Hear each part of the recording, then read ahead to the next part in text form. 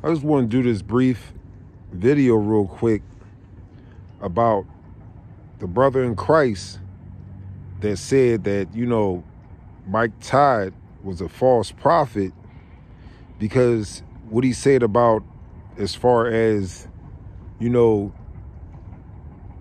you don't go to hell just because of sin. You know what I mean? You go to hell from not believing. And he said Mike Todd was false about that.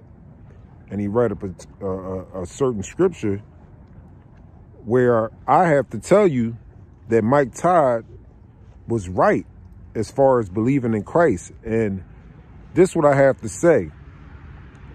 Yes, the wages of sin is death. Yes, sin does and will get you in hell. But as far as when he's speaking of the church, and just like he said, he said, Jesus, by his stripes, by his blood, he paid for our sins. He paid for our sins. You know what I mean? When, when we repent and by the blood of Jesus, you know, our sins are not only forgiven, but God forgets it. It doesn't mean to keep sinning or to sin feel like, oh, Jesus paid for it, so I can do whatever I want. I'm not saying that.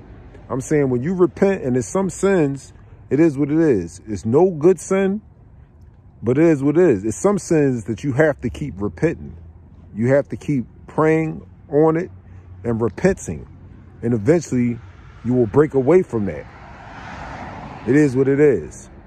I'm going to speak as a straight up, honest, by experience Christian. You know what I mean? And it's, it's sins that I, pr I prayed for, that I had to keep praying for and, and uh, stop doing it.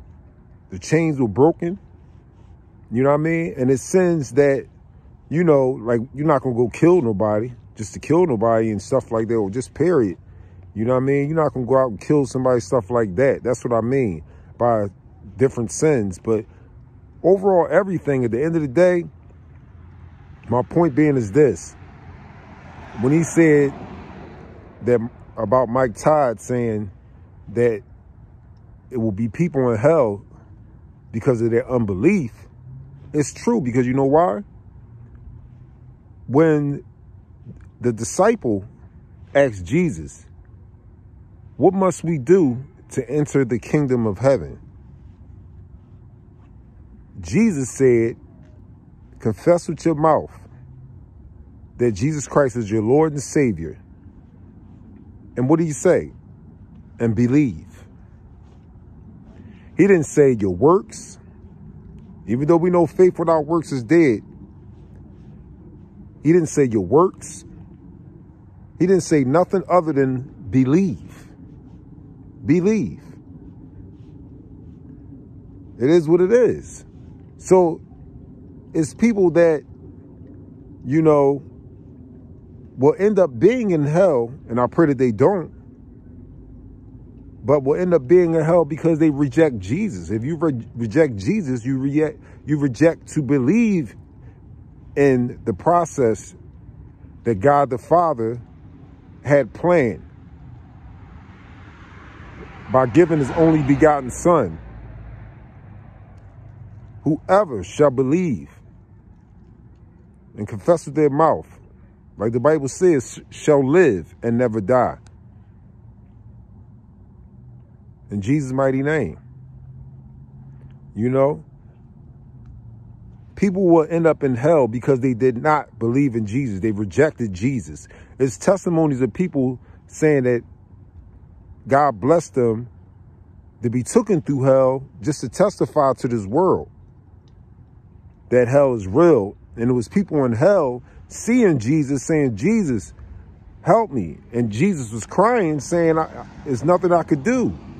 You chose that route. You know, you chose that route because they did not believe in Jesus. So I have to say you were wrong about Mike Todd about that. Not believing in Jesus. Will lead you to hell, let alone you'll end up in hell. Jesus said it. Believe.